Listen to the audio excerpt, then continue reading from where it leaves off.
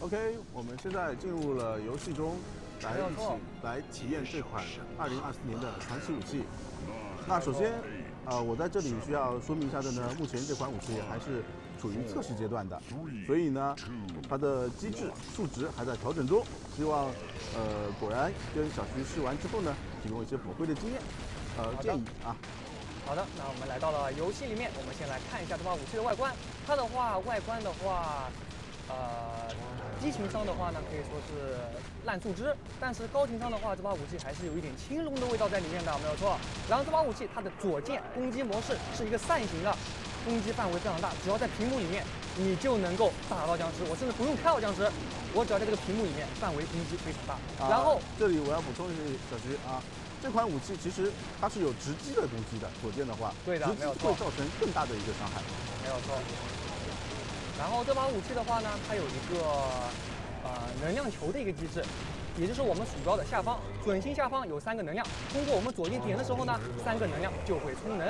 如果你不使用这么一个右键，它的话三颗能量球会直接攻击三百六十度附近的一个僵尸和龙岩柱。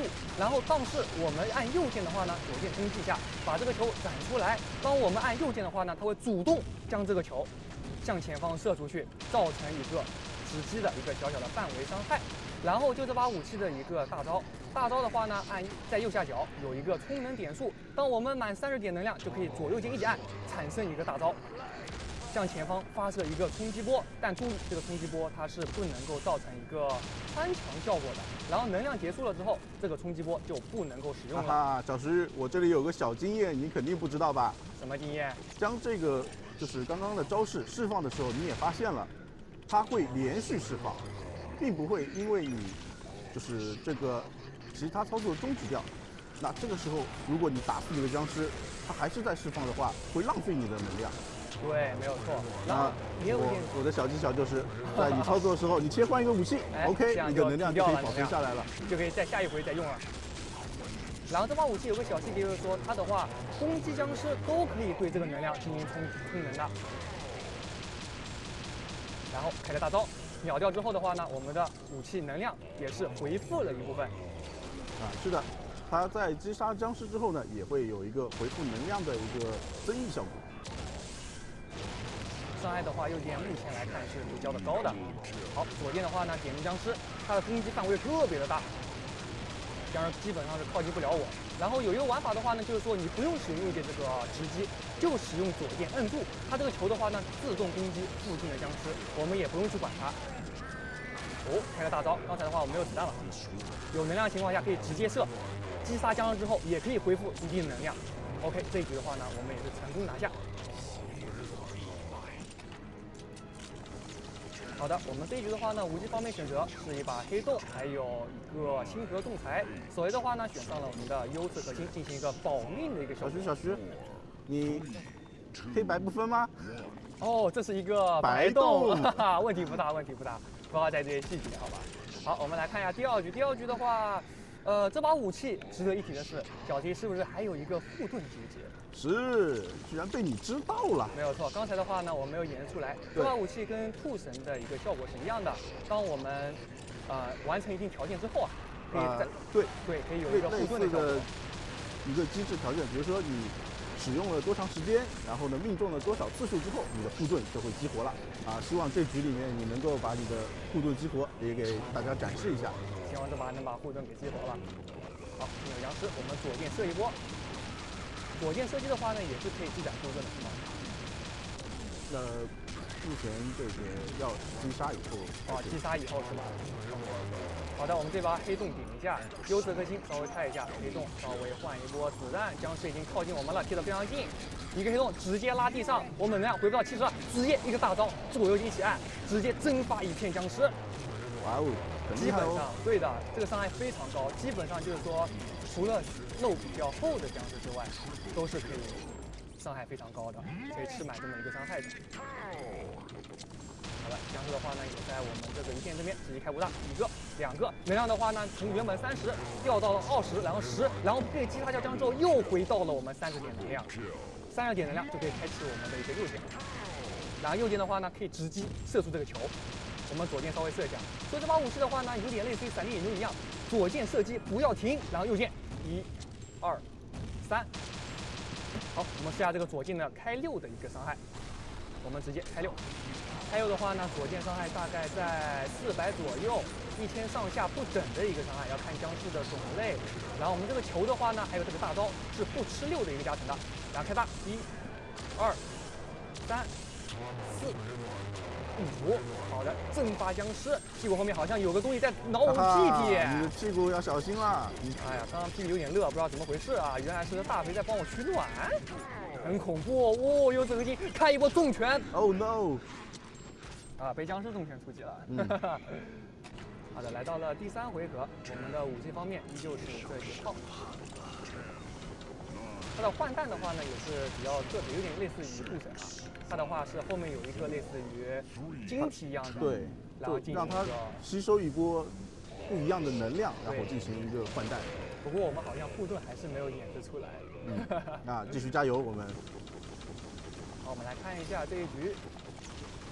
这个球的话呢，也是会自动跟踪附近的一个熔岩柱进行一个攻击的。你看，我会，它会自动攻击一个熔岩柱。我们换一波子弹，看下附近僵尸在哪里。右手镜开一下，防止 T G 被偷。好的，说曹操，曹操就到。左键稍微点一下，然后眼球，两颗，三颗。哎，左键再稍微点一下。左键的话呢，射击可以对我们这个能量球进行一个充能。然后右键射出去一发。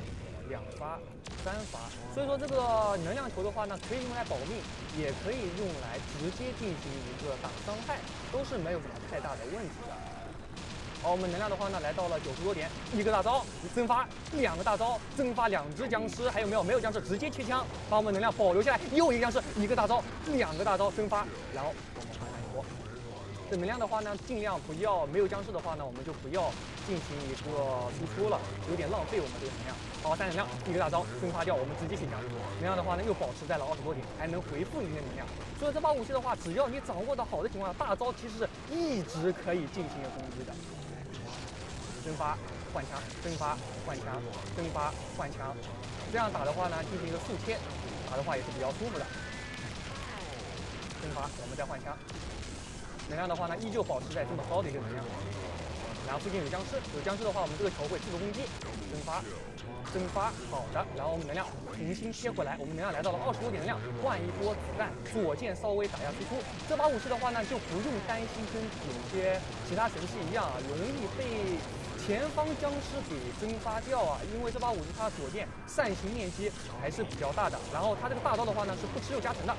左键的话呢，一个直击伤害是吃六的一个加成的。好，把一个右手镜稍微开一下可以动点一下，保一波命啊。然后我们大有了，蒸发，切枪，三十点能量满了，再来一发。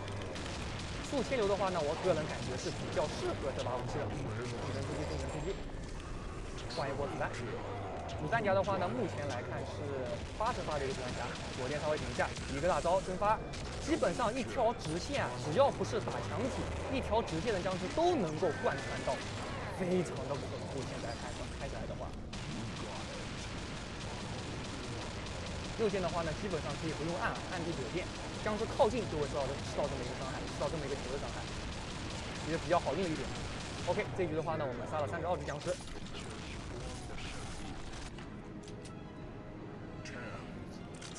这把武器的话，我个人感觉它的保命能力可能比起兔人来说，可能会略差那么一点点，因为它左键这个球的话，确实没有那么快冲出，OK，对吧？这个我们之后也会进行一个参考。所以这把武器的话呢，属于一把进攻型的一把武器，进攻的输出真的是非常的夸张，是是是，正所谓进攻是最好的防御，对，可以说是一把非常锋利的矛了。好，左键的话呢，我们三个能量球攒满了，右键射一发，一颗弹，两颗弹，好，一个大招，两个大招，把熔岩度稍微清一下，哇哦，哇哦，阳间复活点非常好，左键稍微点一下，僵尸根本靠近不了我们，我们躲在这么一个后方这边，左键稍微射一下，一个弹，两个弹，三个弹，再见，一千四，好，我们换一波子弹，左键稍微点一下，点头部。好，我们能量的话已经满了，我们可以释放我们的大招了。一个大招，两下，三下，四下，所以这把武器的话，我个人建议六的话就不要留给这把武器了，可以选择近战武器或者说手枪，因为这把武器它吃六方面不能很多技能都是不能吃六的，所以可以把六留给其他的几把武器。虽然说不能吃六，但它输出真的非常的夸张。四五，好的，我们能量没有了，我们左键摁住就可以了。有点机制，稍微有点像闪电影魔。我们左键摁住球的话，自动跟踪来，自动跟踪球，好。好，我们成为了一个幸存者。优次可以稍微开一下，然后拿黑洞，稍微的攒一波能量。我的天，差一点点，我们的武器就没有了。赶紧拉到我们的后方来，黑洞，直接吸一波，然后一个大招，一、二。三，我们能量一直保持在七十多，基本上没有怎么掉过。然后没有僵尸，我们就可以进行一个贴枪。